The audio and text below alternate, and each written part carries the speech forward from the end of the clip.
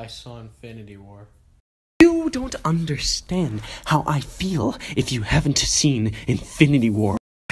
I'm destroyed mentally. I don't know what's real and what's not anymore. I am not okay with anything that Marvel tried to pull with Infinity War. I'm not okay with any of it. God damn it, I'm walking in circles.